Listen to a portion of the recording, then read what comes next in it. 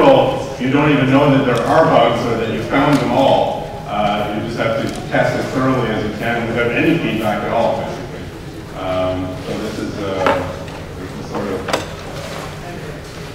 sort of midway in the thing. Yep. Are we keeping the same naming format for the test files? Because at first I thought we were making like test one dash zero question number. And I found that we have to switch it because the way the question words for audio.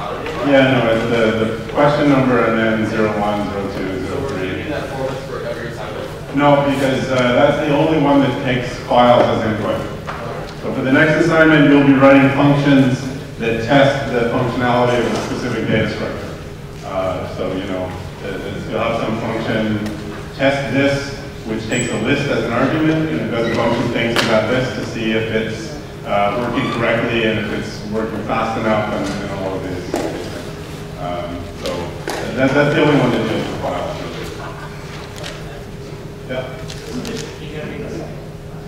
Uh, yes, your submission key won't change unless you have some kind of security problem, uh, like you gave away your submission key or posted it online, uh, and then we can change it manually for you, but, uh, your submission key is the same.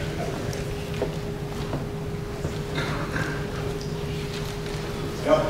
You lower the time, we have to wait. Uh, I might over it to two minutes, but again, I don't want you using this thing as your tester. I mean, it's- It's your job to design test cases, uh, and so I don't want you using this thing to do your testing. It's, uh, you should really have implementation that's pretty much good to go, um, rather than just hacking away at it and resubmitting, hacking away and resubmitting.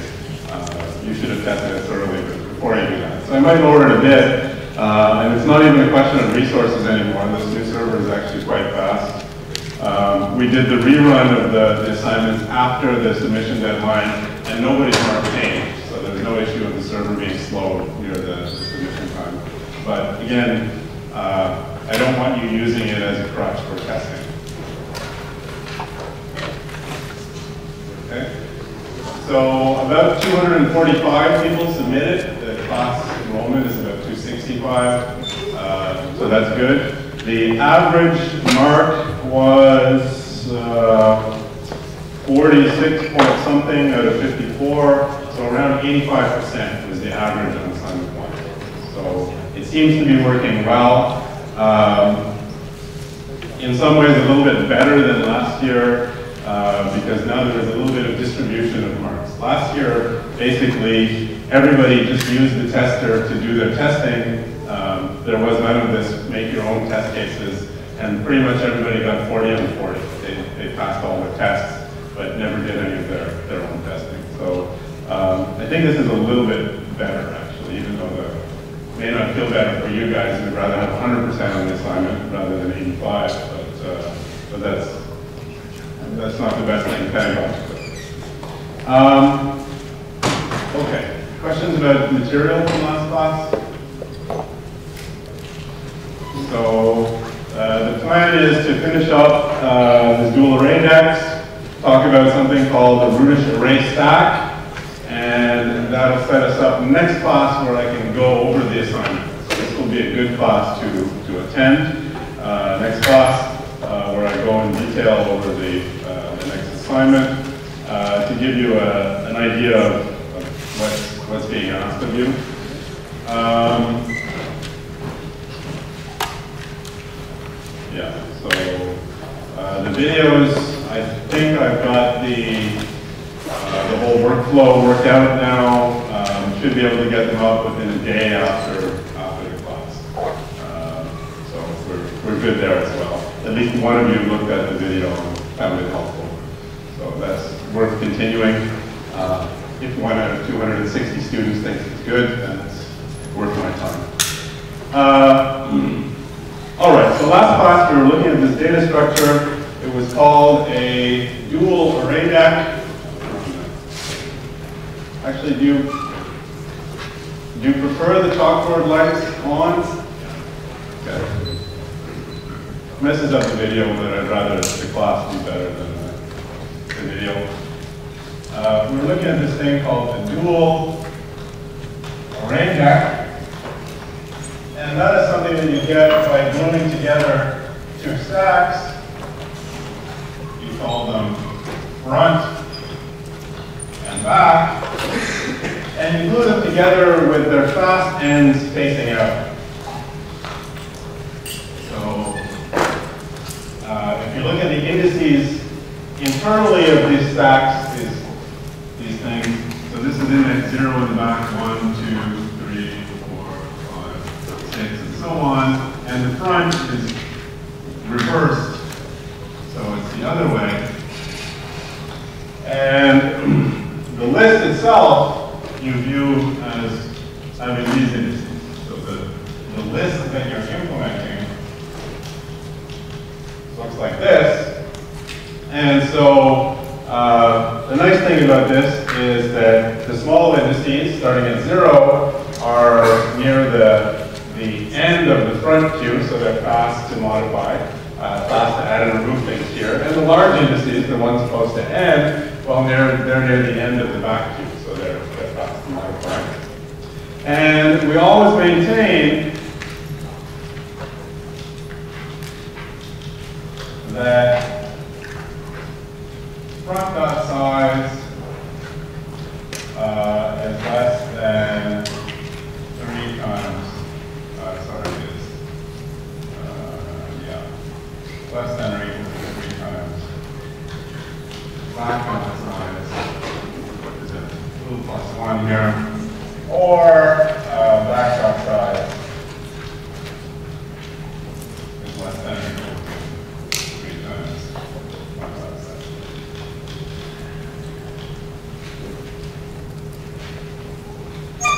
So we always maintain this invariant that they both have about the same size. So not, you don't have one that has n elements in it and one that's empty. Um, they're really close to the same size. They, they don't differ by more than a factor of three. This is a little bit of a fake because of course there's one time when this cannot be true and that's when you have only one element in this data structure. It either to be in the front or it has to be in the back, in which case the one that has it is infinitely larger than the one that doesn't. But that's the only case when you don't, uh, you don't have this, this issue when there's only one, one element, and that's not a, not a problem.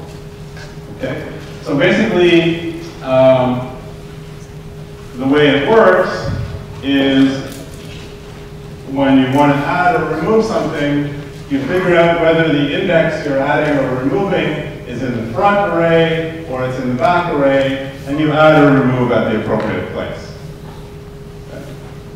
So what we'd like to know is, well, um, so it basically looks, uh, well, I don't want to write the code, but uh, you, you get the idea. So if I want to add anywhere uh, in the indices between 0 and 6, that turns into an add in the front, uh, in this case. And if I want to add anywhere in the indices uh, 7 up to uh, 14, then that would, uh, that would happen at the back. And after each add or remove operation, you check this condition, and if this condition is not true, then you start with brand new, fresh uh, stacks, where you split the elements perfectly evenly across both stacks. So there's this rebalance operation that happens that, uh, that rebalances the elements easily. Uh, but the first thing I'd like to do is analyze, let's say, the cost of inserting into this, this thing.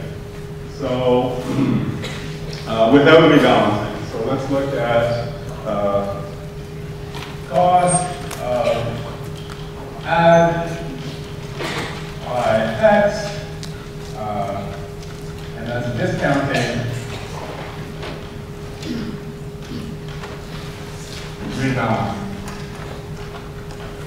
And now this is a little bit funny, the way you have to do this analysis, uh, because uh, really, you're not always sure what the cost is unless i is in a certain range. So, uh, if this is the case, if these two things never differ by more than a factor of uh, 3, then what can you tell me if i is in the range 0 up to n over 4? Where would I find that index if i is in that range?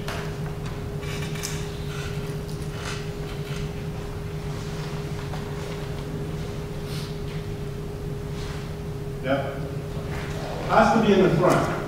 Because if the difference in size is at most a factor of 3, that means that the front holds at least one quarter of the elements, right? So the picture, in the worst case, if the front were as small as possible, this would be of size n over 4, and this would be of size 3n over 4. If the situation ever gets any worse than this, more unbalanced than this, then we rebalance it so that this, this isn't the case anymore. So if i is in the range 0 up to n over 4, then, uh, then maybe less than n over 4, doesn't matter too much, then we know it's in the front. Okay? And it's really, uh, you know, the picture looks like this, so we know that i is somewhere like this. So how long does it take to add something at that position in the front? How many elements get displaced by that?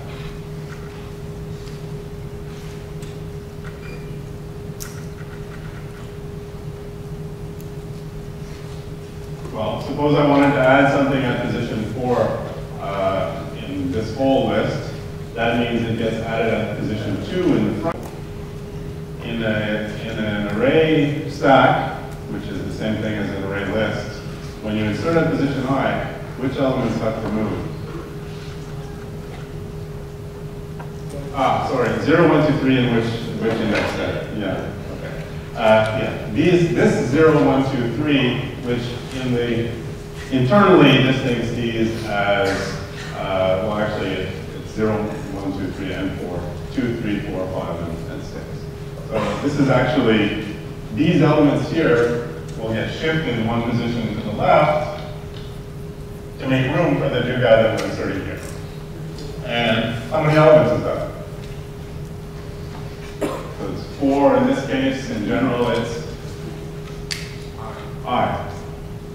So in general, if i is there, that means uh, i is in front. And so that means we shift i elements, and the whole thing takes quarter i time. All right, so then there's a symmetric case to this. So if i is quite small, less than a quarter of n, then we know where it is, it's in the front. If i is quite big,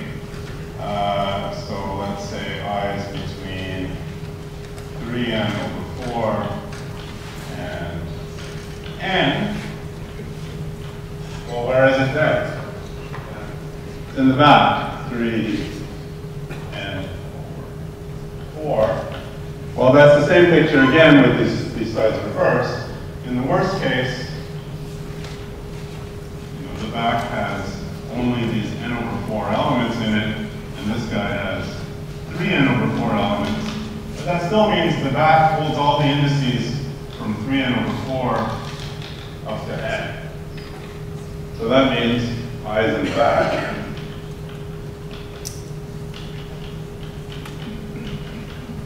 And how many elements do we shift then? Yep. We shift n minus i elements.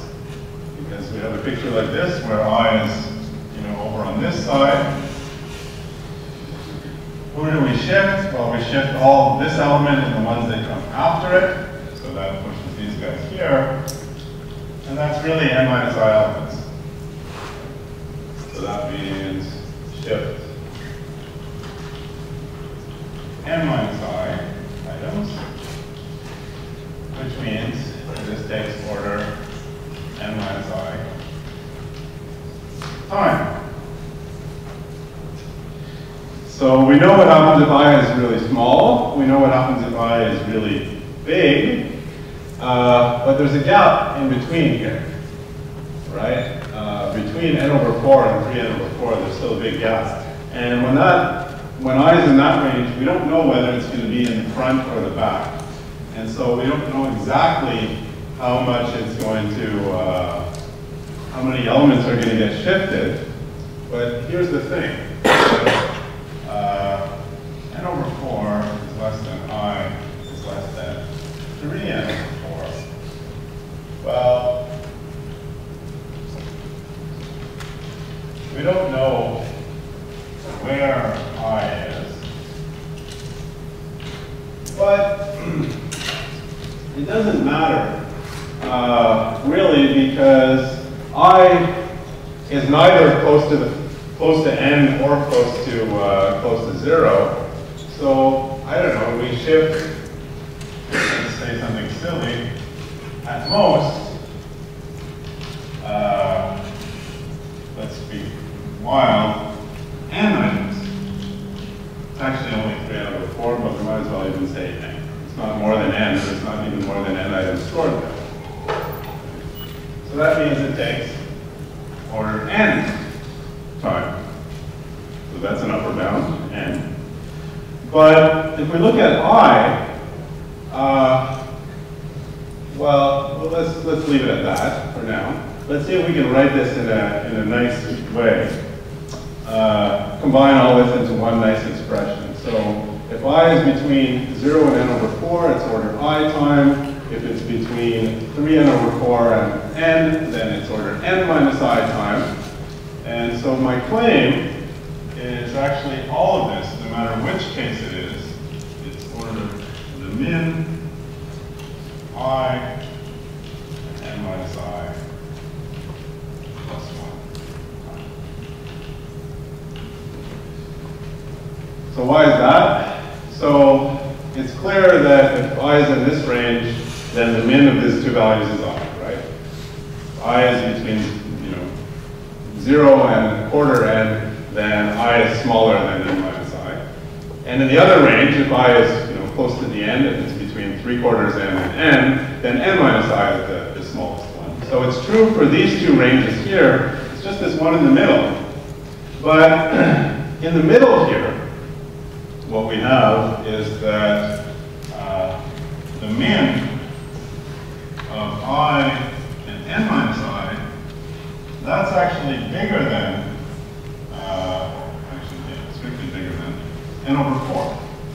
Right? If i is bigger than n over 4 and smaller than 3n over 4, you look at i, well, it's bigger than n over 4. And you look at n minus i, well, because of this, it's also bigger than n over 4. And so, uh, so the min of i and n minus i is bigger than n over 4. And we shift at most order n elements, which is you know, some constant times n also. Uh, and so this, this min actually covers the middle case as well. So the, min of i and n minus i is, is at least n over 4, and we, in this case, do order n work, and so the, uh, the we, we, we do the order of the min of i and, and n minus i.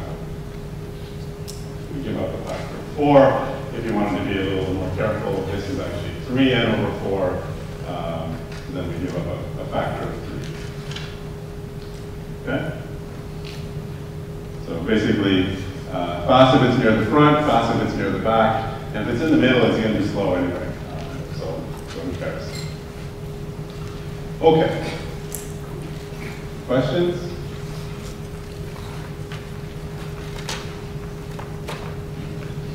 Good. All right. So we now have a theorem about these things, which looks familiar to us.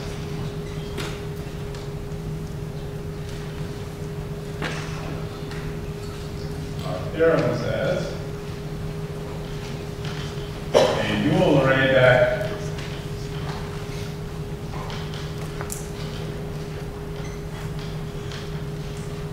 implements the list interface. And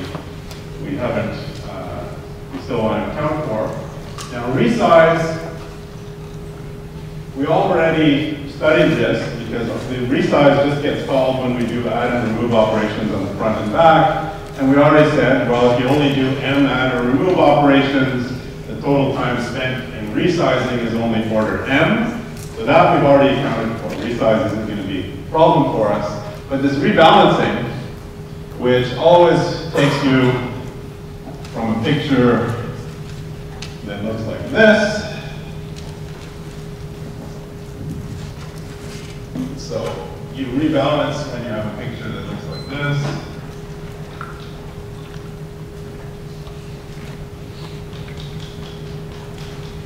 Something like 3 n over 4, just a little n over 4 here. Rebalance.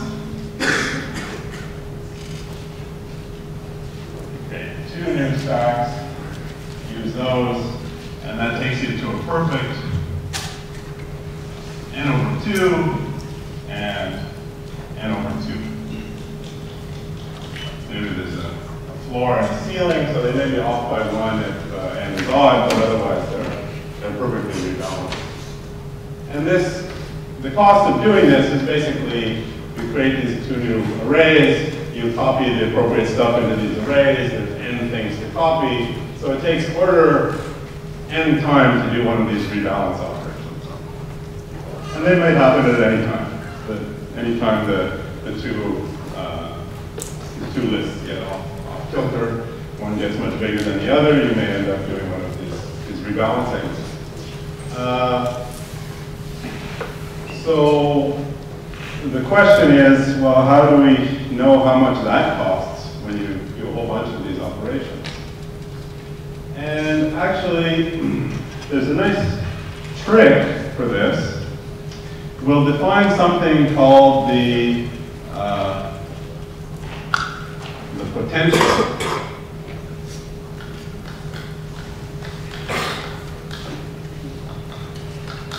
And the potential, we'll just define it by a formula. It's the difference in size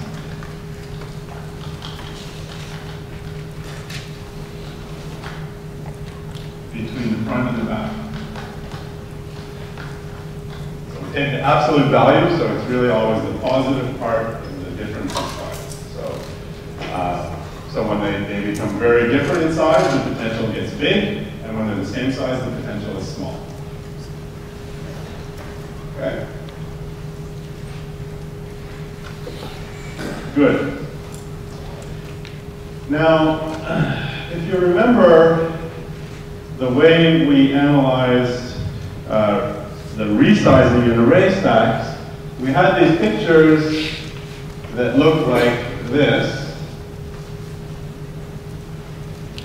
There is the now part of the picture, when we're just about to do a resize. And we're just about to do a resize because we have a bad imbalance.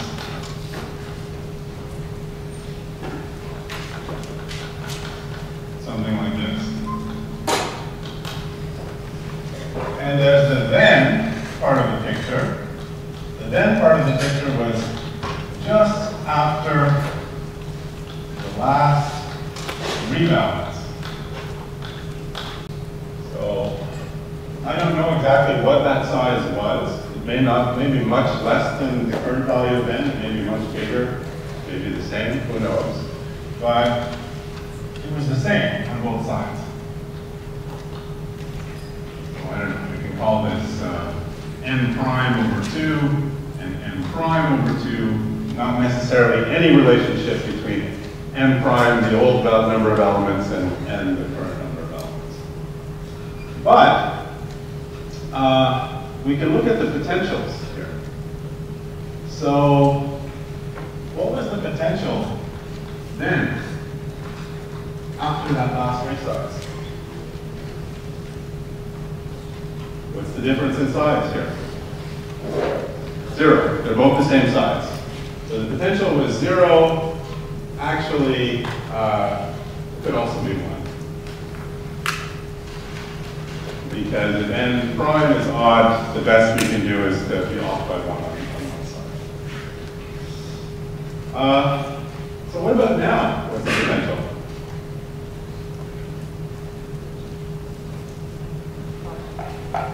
What's the difference between 3n over 4 and n over 4? n over 2. So the potential now is uh, n over 2. Okay, good. So back then it was 0. Last time we did a, a rebalance, it was 0. And now it's worked its way up to n over 2. Now what could cause the potential to change? What is it that makes the potential change?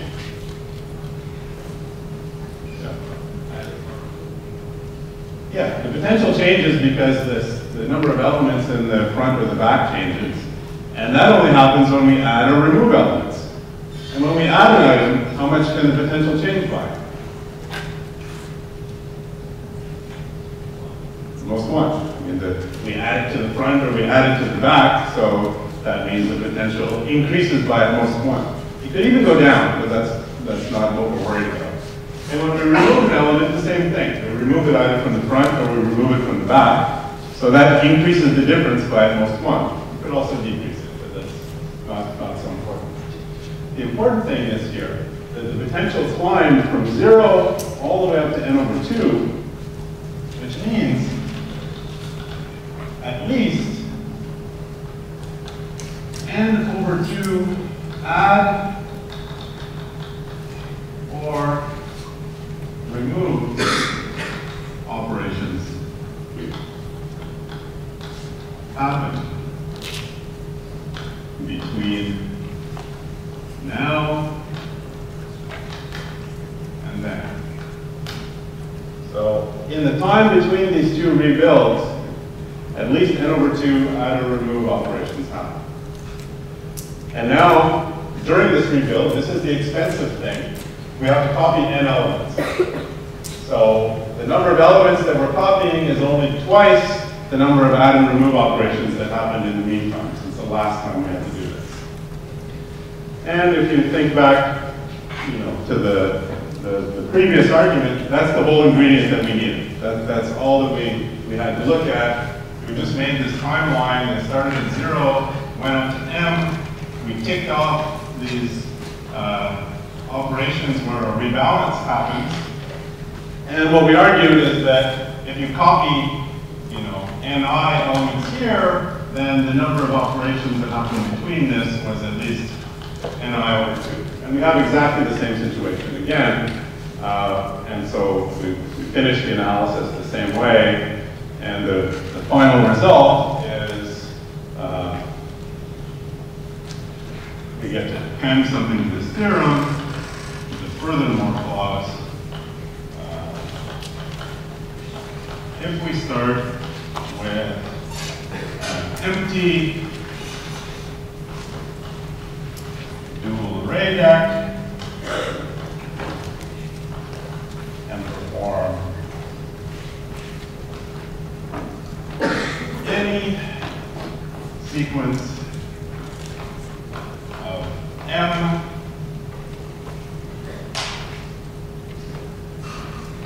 add and remove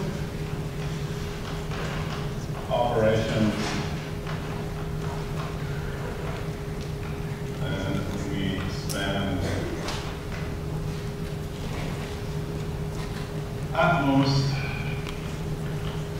O m time falls to resize and rebalance. The resize comes from the analysis we did of uh, array lists or slash array stacks, uh, and the rebalance comes from the, the argument we just made with this potential. So this is a really common way of, uh, of getting what are called amortized efficient data structures is to um, you know, always have this property of when your data structure gets too out of whack, uh, so in this case when it gets too unbalanced, or in the case when you're looking at uh, resizing, when it gets really empty or really full, is to do a lot of work and put it into a state where it's really in nice shape so that it's going to be a long time before you have to do that kind of work again.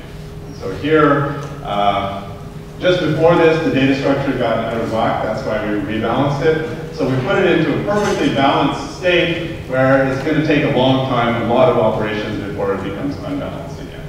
Um, and the same thing, if you look at the way we did this resize, we always uh, we always built a data uh, list that filled half the array and when you have a list that fills half the array, you're not going to resize again until the list becomes full. That certainly takes a long time.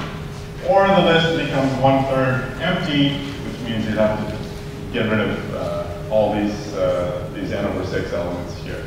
So again, we put it into a state that's far from these two extremes, being too full or too empty, so it takes a, a long time to, to get back to that, and, uh, and the same thing. Okay. Any questions about that? Super easy. Everyone understands it. You could design something like this yourselves now. All right. So what I would like to look at in the rest of the class is uh, something a little bit different. But it's got some nice stories in it. And that is, so we're basically following the book right now, section by section. Uh, and that's something called the Array Stack.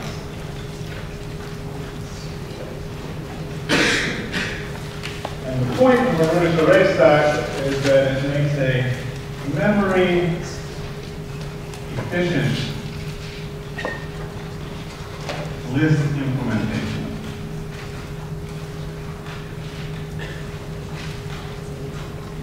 So what does it mean to be memory efficient? Well, if we look at, you know, the simplest thing we looked at was this array list slash array stack. Uh, it was one big array, and you store the list elements in it. And, you know, typical picture is maybe, I don't know, something like this. Here's your array, here's the actual items you're storing in the list, and there's this big empty section of the array at the end, this unused section. So there's this part that's used to store the data. That's sort of necessary. If you want to store a, bunch of items, you, you need enough memory to store them. But then there's this part here, which we call wasted space. So the typical picture with an array stack is, uh, is there's a lot of wasted space. A good fraction of the array is wasted. So, in fact, at the worst time, if you're about to shrink it, um, this could be as big as 2n. Right? Because this is n, the number of elements actually stored in your list.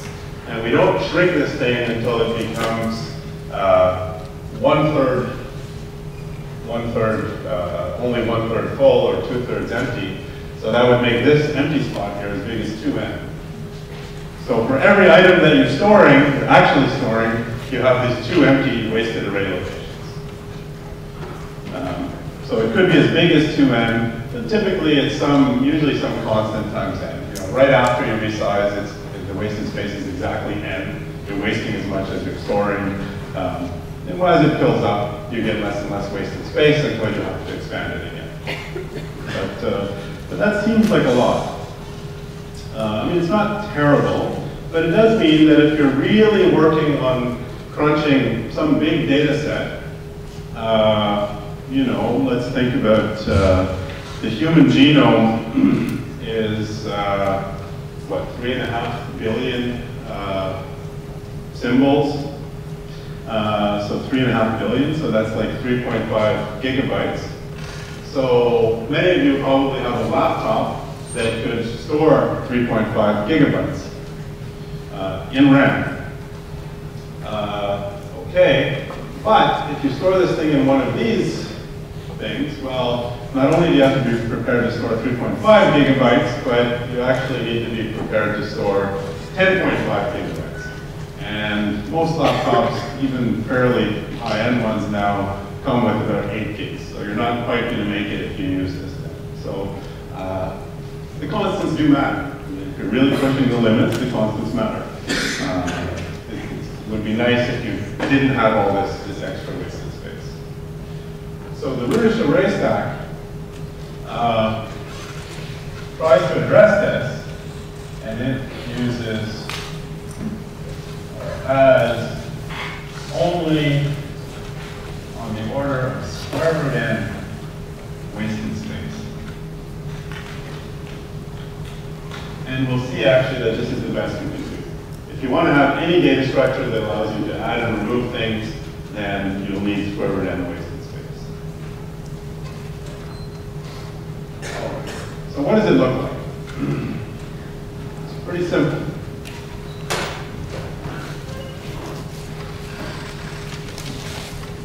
it's a list.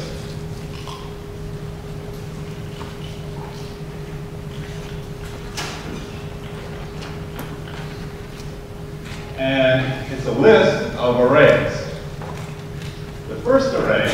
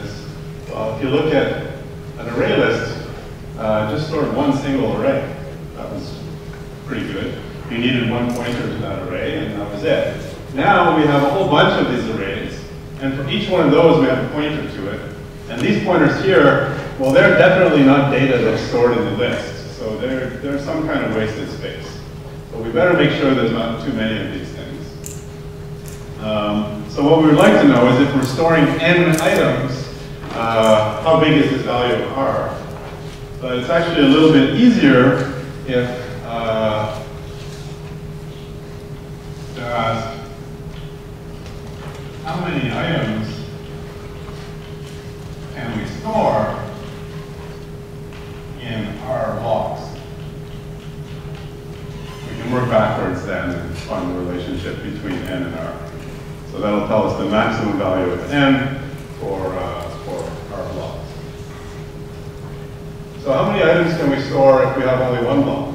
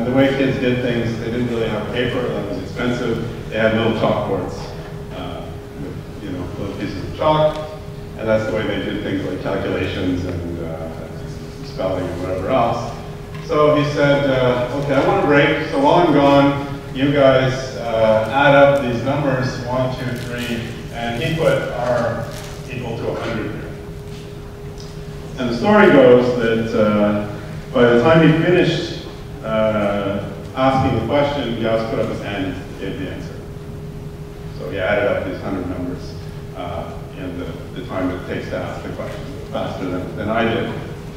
Uh, so he discovered this himself. Uh, now, of course, he didn't just do long addition here. He discovered a formula for this. And the formula is really nice because uh, once you see how it's derived, then you can remember it forever. So here's how you calculate this sum. Uh, you just draw a bunch of boxes and count the number of boxes. So there's the first term, it's one box. Here's the second term, it's two boxes. Here's the third term, three boxes. Here's the fourth term, it's four boxes. And here is the rth term,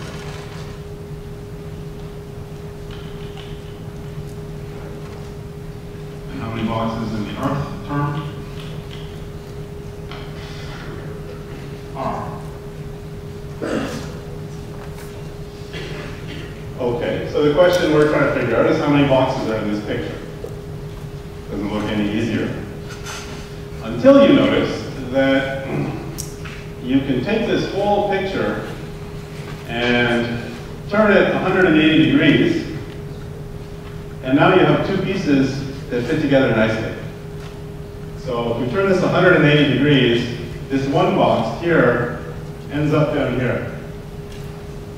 And these two boxes, they end up right here, and they fit together perfectly with the previous row. They're touching the previous row. And the three end up here, and they fit together perfectly. And finally, the R boxes, they end up over here, fitting in nicely with this thing. Okay, so now we have a picture that's much easier to count the number of boxes because it's a rectangle. Uh, so, how long is this side of the rectangle? R. How long is this side of the rectangle? R plus 1. So the number of boxes in this picture is R times R plus 1. Wait a minute, that's not the number of boxes we wanted. That's just the number of boxes that's convenient to count. Uh, we just want the white boxes. How many of those are there? Same as the number of blue boxes. And when you add those two things together, you get R times R plus 1. So must be at half of the number.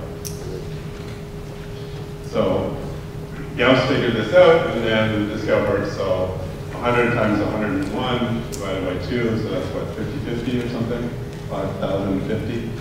Uh, he figured this out in whatever, a few seconds, uh, or more likely he knew it beforehand and, uh, and foiled the teacher this way. So the sad part of the story is that the teacher never got to have a cigarette that day. Okay, so now you know this and you'll remember it forever. So how many items can we store if we have R blocks? It's R times R plus 1 divided by 2. Okay. And you know, a longer way to write that is something like uh, r squared over 2 plus r over 2. And that's certainly bigger than uh, r squared. So we can store about r squared over 2 items in our blocks. So if we want to store n items, we need that it would be good enough if r squared over 2 is bigger than n, uh, which is like uh,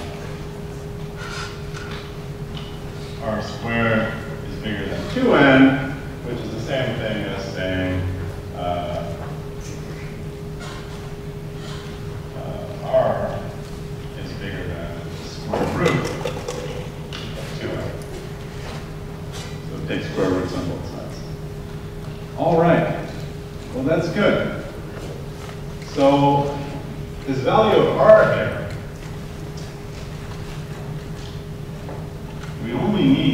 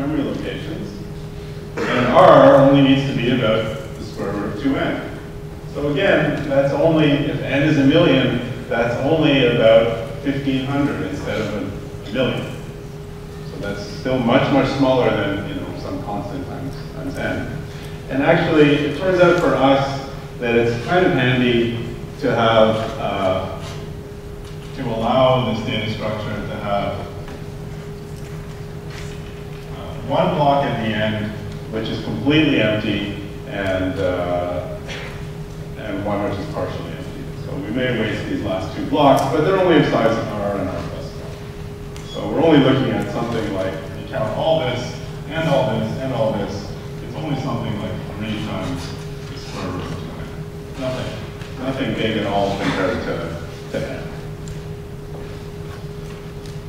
Okay. So this looks great. Uh, see any difficulties here? What are the things we do with lists? We get, set, we add, and remove. So all of these things take an argument i which is the index into the list. So uh, how, how do we go from an index i to figuring out, oh, this is the block that we want?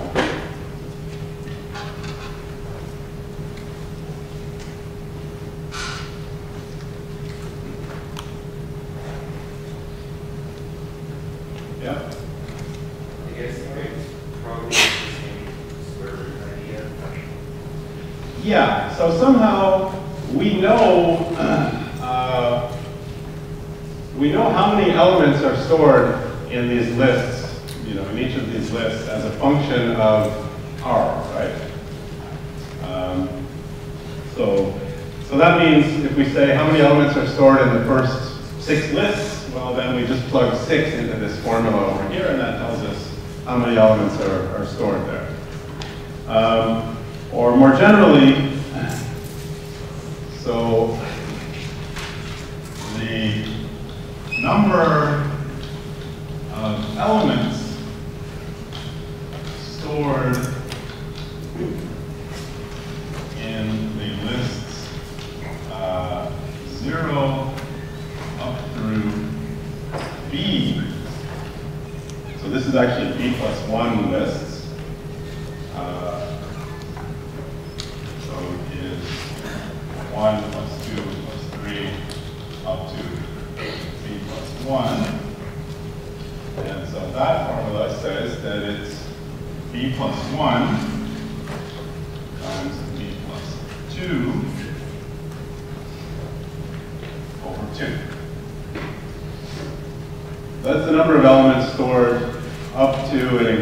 the list with index B. Yep. Uh, don't think so. So this is the same. Um, okay, so that tells us uh, how many elements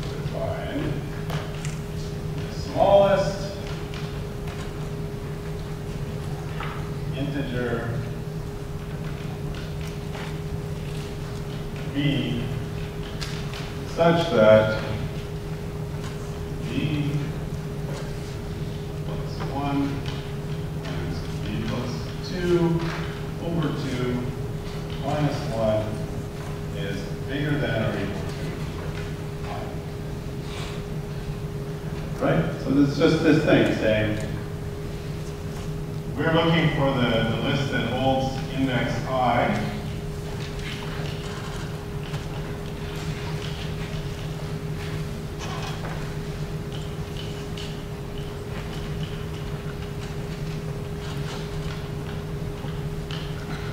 And uh, so let's say, you know, we want index 7. Well, is it stored in this list 0? No, because, uh, because 0 only holds indices up to 0. Is it stored in this list 2? No, that only stores indices up to list 2. Is it stored in list, sorry, list 1? Is it stored in list with index 2? No, that only stores indices up to list 5. But uh, finally, in list 3, this thing stores indices all the way up to 9. So this is the smallest value of B uh, that has indices that go greater than or equal to 7. So we want the smallest integer b, in this case it was 3, such that b times b plus, b plus 1 times b plus 2 over 2 minus 1 is bigger than or equal to. So that's what we need to solve. So we could just start counting b equals 0, 1, 2, 3, so on, as we've, uh, as we've uh, just done. But uh, is there a better way? Maybe something you learned in high school?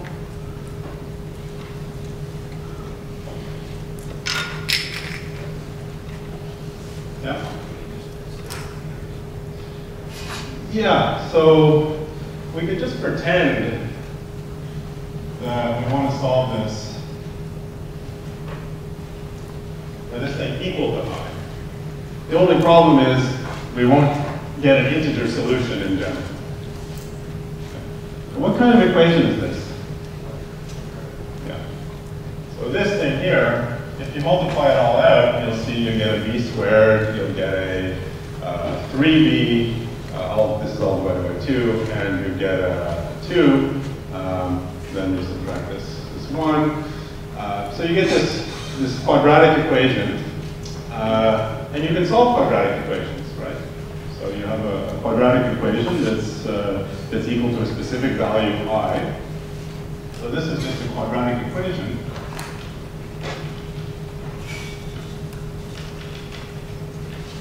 And uh, there's a formula that finds two solutions for it.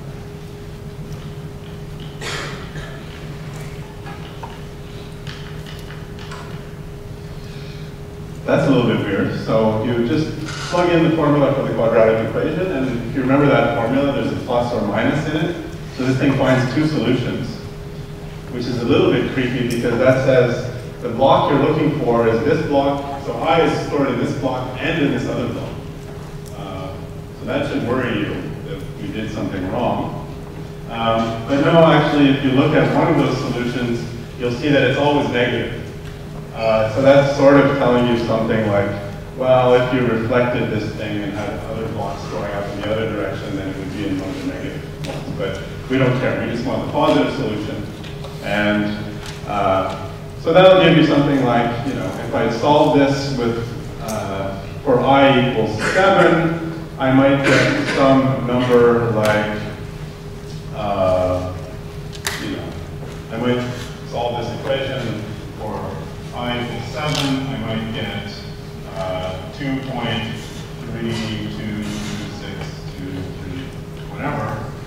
Um, and all that tells me is that, well, 2 is not, uh, the integer 2 block is not big enough, it doesn't have what I need. I just take the ceiling of this, and the thing that I'm looking for is Um, so you get this just by solving a, a, quadratic equation, and taking the ceiling of the solution tells you the index of the block that you're looking for. All right, uh, so that tells us which block is storing the data we want. Um, how do we know where it is in that block? Yeah.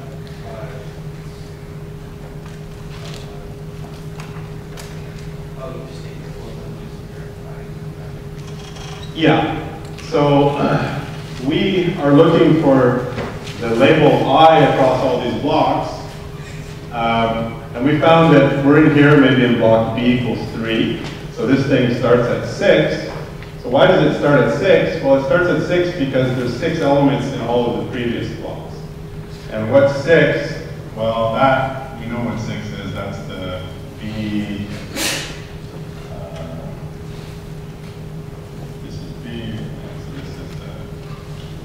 times b plus 1 over, 2. Uh, so once we know the value of b for this block, we know how many values were in all the preceding blocks. That's the formula there.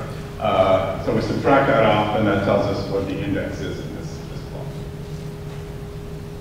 So it's, uh, it's really non, somehow non-trivial. I mean, you needed finally, uh, you know, for the first time ever, you needed the quadratic formula to do something in, uh, in computer science or in, in programming. It's, really uh, a useful, useful thing. Okay. So, uh, all right. So the rest of it then is, uh, is everything else is fairly straightforward. It, uh, it just works like everything else. Uh, like an array stack.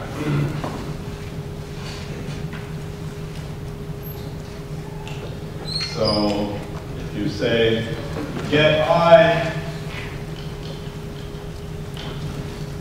you do something like uh, b is equal to, uh,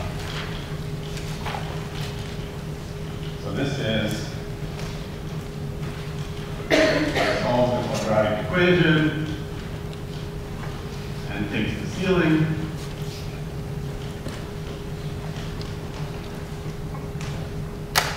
And then you say j is equal to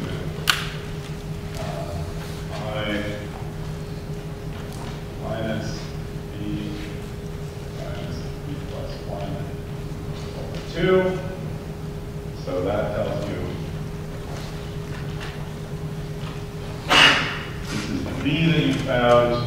Uh, Now you subtract off all of the number of items in these preceding blocks, and that gives you the index J into this array, and you just return. Blocks. Oh, yeah. B at position J. So the get code is fairly simple. Modulo in here, there's this solution to a quadratic equation which has a square root in it. It's a little bit annoying, but uh, it's, uh, it can be done quickly.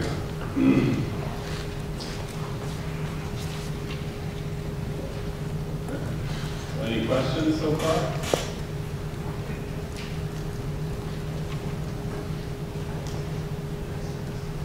No? Good.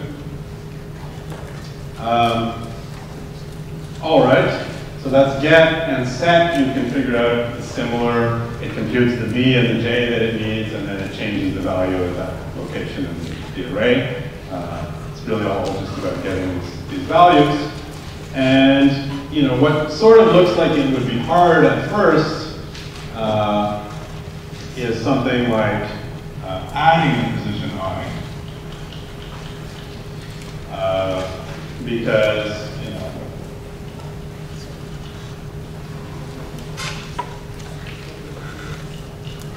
if we want to add a position I and position I happens to be here,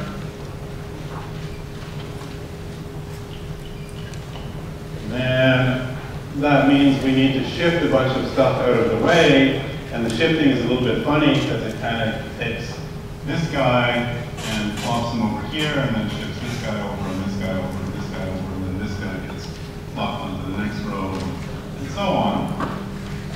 So it looks like you would have, you know, a couple of nested for loops that count from one block to the next, and then do the shifting inside the block. But actually, because we already have get and set operations, we can just use those. So really, it looks like something after balance checking, you just do something like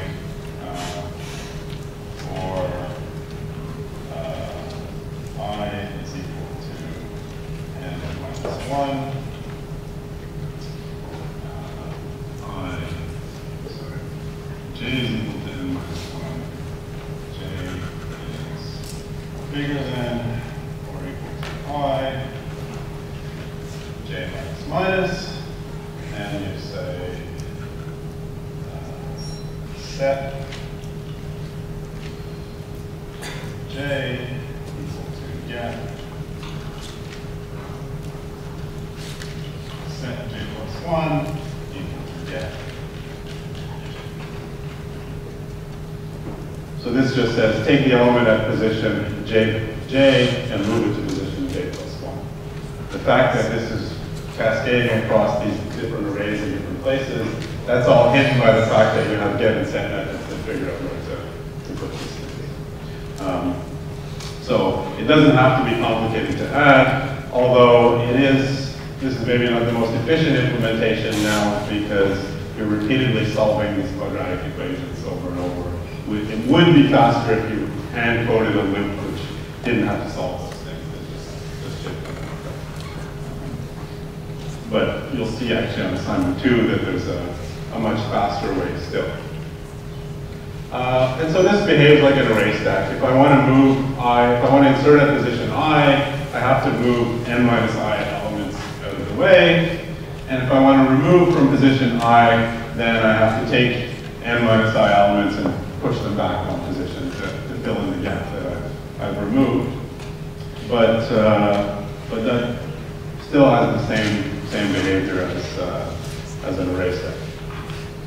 So the theorem that you get from all of this is that